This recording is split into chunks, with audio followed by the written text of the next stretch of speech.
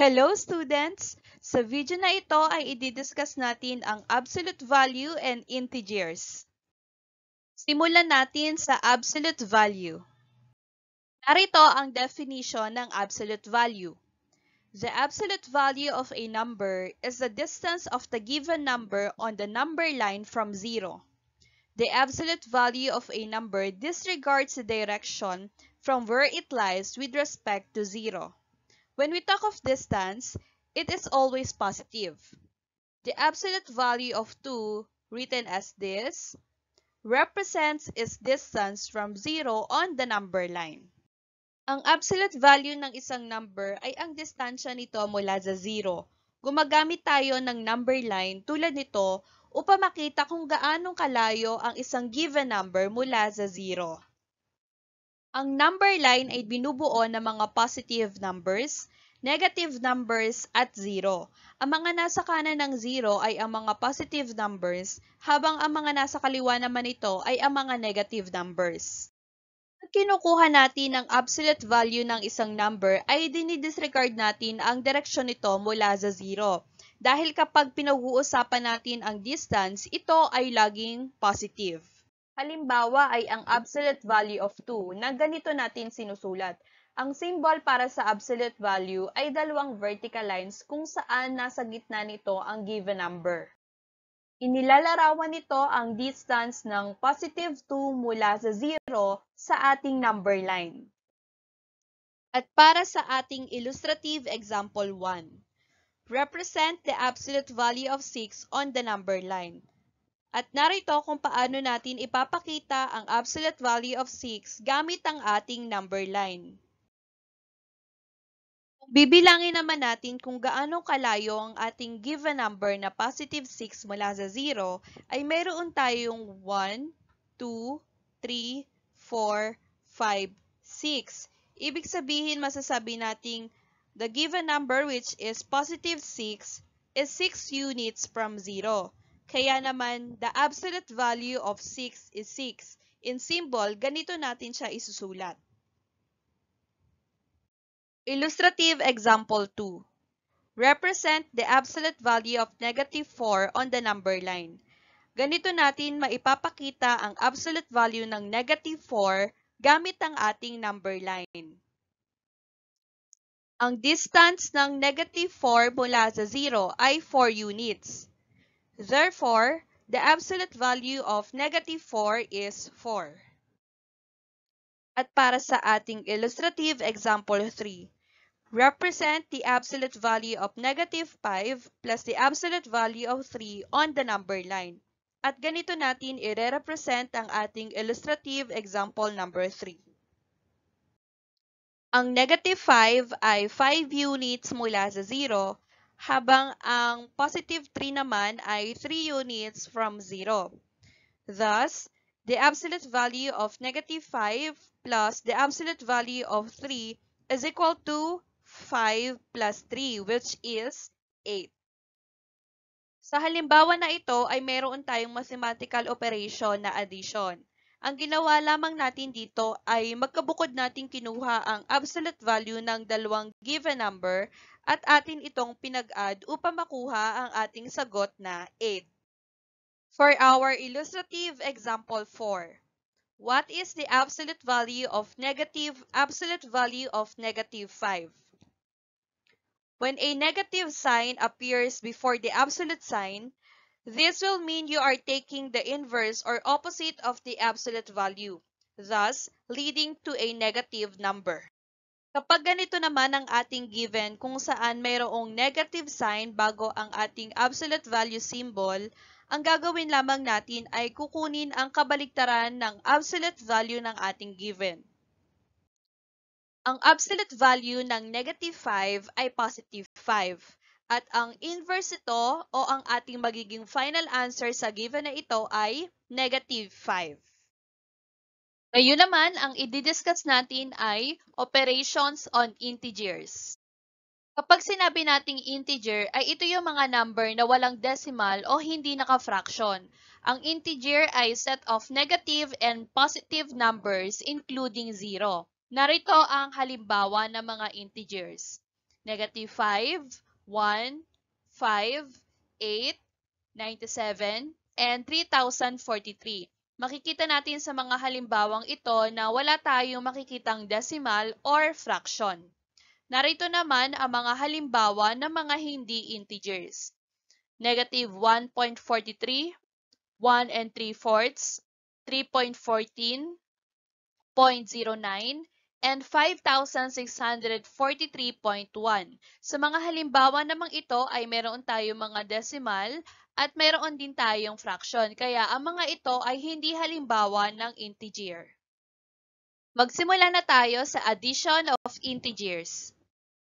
Narito ang mga situations o ang mga posible maging given kapag tayo ay nag-add ng mga integers. Una, two positive integers. Pangalawa, two negative integers. At pangatlo, positive and negative integers. Let's now have our illustrative example 1, which is about adding two positive integers. To add two positive integers, just add the two integers and copy the positive sign of it. Note that an integer without negative sign is automatic a positive integer. Kapag ang given natin ay dalawang positive integer, ina-add lamang natin ang mga ito at para sa ating sum o final answer, kinokopya natin ang ating sign which is positive. Madali lamang ito kaya narito na ang ating mga halimbawa. Una, 3 plus 2. Dahil wala tayong nakikita na negative sign sa ating mga given, automatic na masasabi natin sila ay positive integers. 3 plus 2 is equal to 5. Sa ating final answer, ang ating sign ay positive dahil ang inad natin ay dalawang positive integer. Ang sumunod naman ay 1 plus 3. Ang mga ito ay parehas positive, kaya naman ang ating magiging sagot para dito ay 4 or positive 4. Next is positive 3 plus positive 2 is equal to positive 5. And last is positive 5 plus positive 2 that is equal to positive 7. Para sa illustrative example 2, ito naman ay kung paano mag-add kapag ang given ay two negative integers. To add two negative integers, just add the two integers and copy the negative sign of it. Para sa example na ito, kung saan ang ating mga given ay two negative integers, i-add lang din natin ang ating mga given, ngunit ang ating magiging sum o magiging final answer ay negative. Example, Negative 3 plus negative 2 is equal to negative 5. Ang ginawa lamang natin dito ay inad ang dalawang given na 3 at 2 at iyon ay 5 at para sa ating final answer, kinopya lamang natin ang sign ng dalawang given which is negative. Kaya ang ating sagot sa negative 3 plus negative 2 ay negative 5. Next example is negative 2 plus negative 1. Ang sagot naman dito ay negative 3. Next is negative 2 plus negative 2. This is equal to negative 4. And last, negative 4 plus negative 2, the answer here is negative 6. Para sa huling set ng ating example sa addition of integers, ang mga given naman natin dito ay positive and negative integers. To add positive and negative integers, subtract the two integers. Copy the sign of the larger number to the result. Kapag tayo ay nag-a-add ng mga integer na hindi magkaparehas ang sign, ang ginagawa natin ay pinagsusubtract ang mga given. At para sa sign ng ating final answer, kinokopya natin kung ano ang sign ng mas malaking number. Upang mas maunawaan nyo ito, narito ang ating mga halimbawa. Una, 3 plus negative 2. Dahil ang 3 at negative 2 ay magkaiba ng sign, ang operation na gagamitin natin dito ay subtraction. Kaya naman 3 minus 2 is equal to 1. At para sa sign ng ating final answer, susundin natin ang sign ng mas malaking number.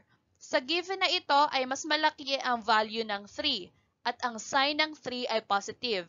Ibig sabihin ng ating magiging final answer ay positive 1.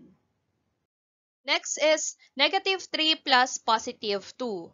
Dahil magkaiba uli ang sign ng ating mga given, ating itong isusubtract.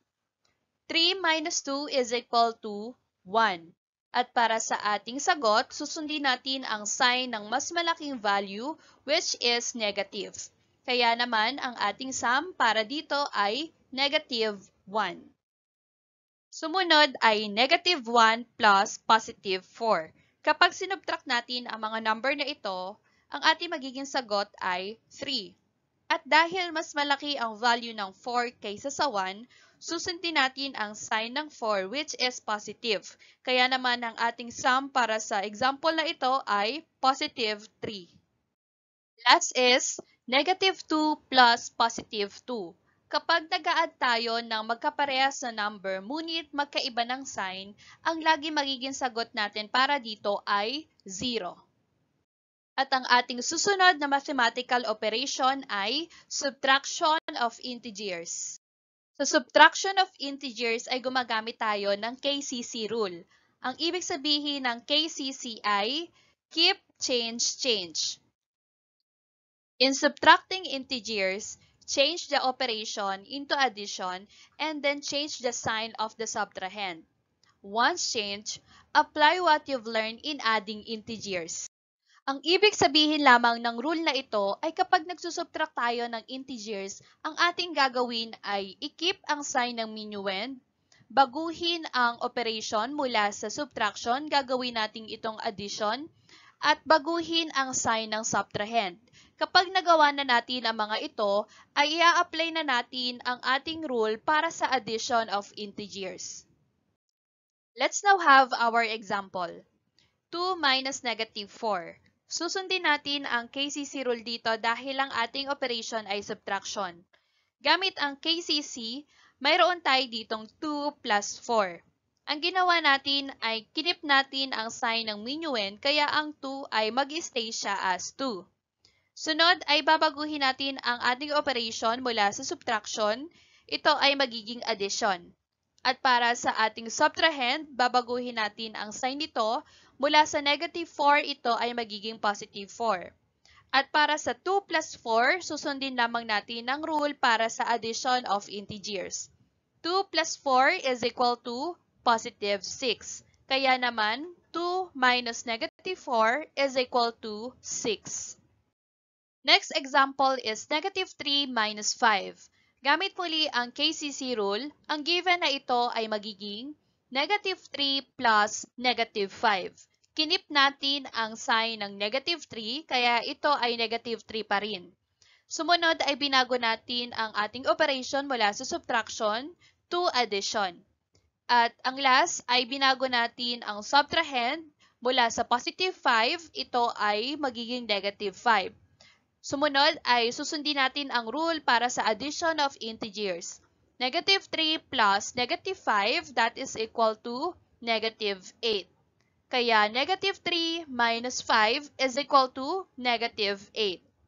At para mas maunawaan nyo pa ang subtraction of integers, narito pa ang isang example.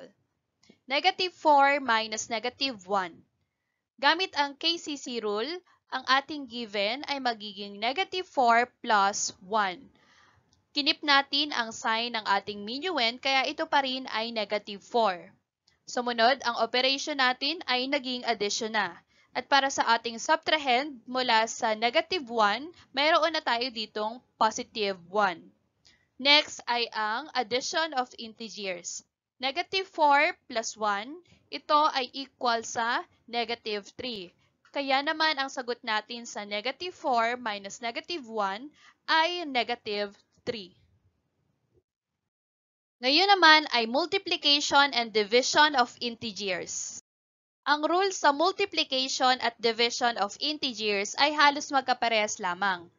In multiplying or dividing integers, find the product or quotient of their positive equivalents.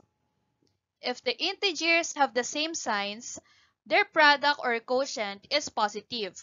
while if the integers have different signs, their product or quotient is negative. At narito ang ating mga halimbawa. 2 times negative 3. Dahil ito ay magkaiba ng sign, ang magiging sagot natin ay negative. At para sa ating product, susundin lang natin kung paano tayo nagmumultiply ng numbers. Kaya ang sagot natin sa 2 times negative 3 ay negative 6. Next is negative 1 times 3. Ang sagot dito ay negative 3 dahil ang negative 1 at ang 3 ay magkaiba ng sign. Next ay negative 2 times negative 4. Ang dalawang ito ay parehas negative kaya ang magiging sagot natin ay positive 8. At ang panghuli ay 0 times negative 5. Ang sagot dito ay 0 dahil anumang number na i-multiply natin sa 0, ang ating product ay laging 0. At narito naman ang mga halimbawa para sa division of integers. 15 divided by negative 3 is equal to negative 5. Tulad ng rule sa multiplication, kapag ang dalawang number or ang dalawang given ay magkaiba ng sign, ang ating magiging result ay negative. At para sa division of integers, susundin natin kung paano tayo nagdi-divide ng numbers. Next ay negative 40 divided by 10. Ang sagot dito ay negative 4 dahil ang dalawang given na ito ay magkaiba ng sign, kaya naman ang ating magiging sagot ay negative. Next is negative 64 divided by negative 8. Ang sagot dito ay positive 8 dahil ang ating given ay same sign. At para sa panghuling example ay 56 divided by negative 7. At ang sagot dito ay negative 8 dahil magkaiba ang sign ng 56 at negative 7. At yun lamang para sa ating lesson tungkol sa absolute value at integers. Sana ay marami kayo natutunan sa ating video na ito. Thank you!